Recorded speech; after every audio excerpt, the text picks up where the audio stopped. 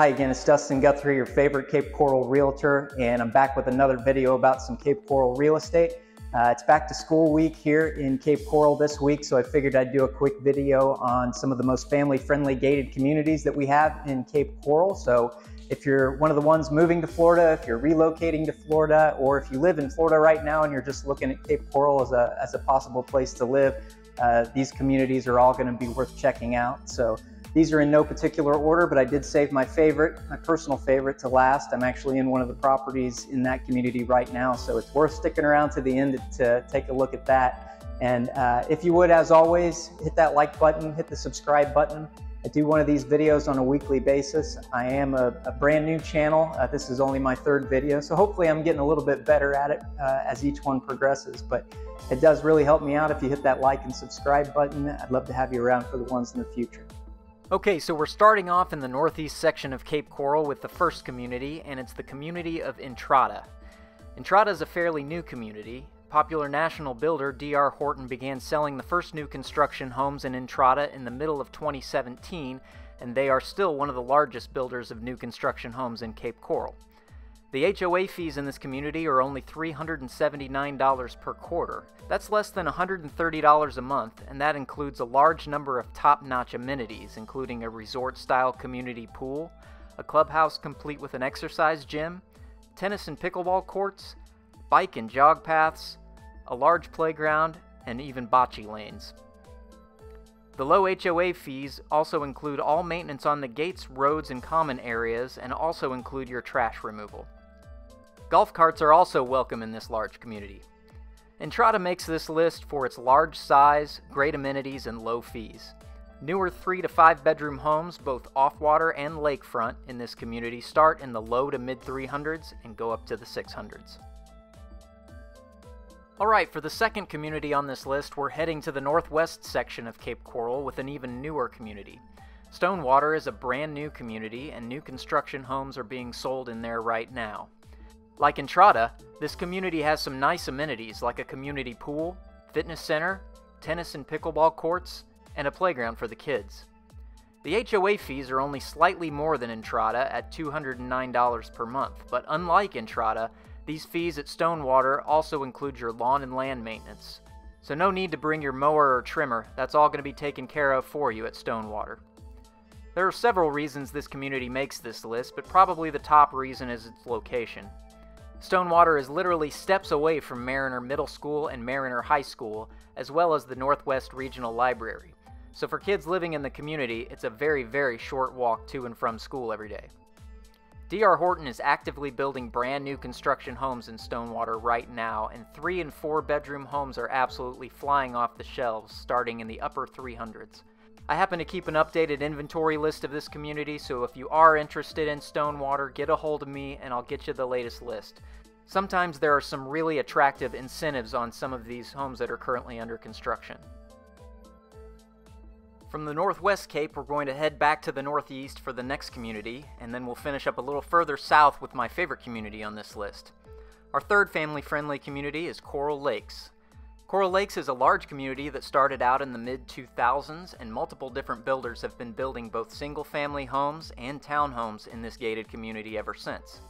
It's a large community with some of the larger two story homes in Cape Coral.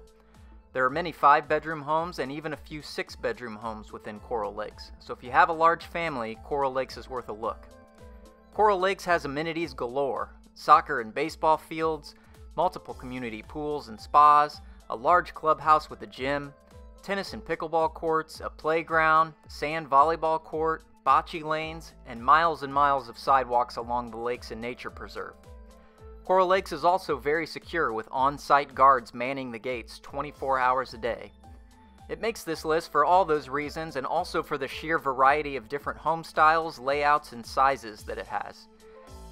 The HOA fees for the homes are collected quarterly at $764 or about $255 per month. And that includes all the amenities, professional security, trash removal, and your lawn and land maintenance. So you get a lot out of your HOA fees here. The townhome HOA fees are slightly higher, but they also include some more services. In addition to being a family friendly community, it's also the most price friendly community on this list, with townhome prices starting in the mid 200s and single family homes starting in the mid 300s. Okay, now we're going to finish up with my personal favorite family friendly gated community in Cape Coral, and it's located in a very convenient part of the Southwest Cape.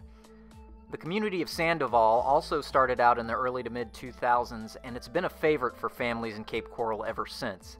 It's a very large community with well over a thousand residences, and the streets and miles of winding lakefront walking slash jogging paths are lined with beautiful, well kept landscaping.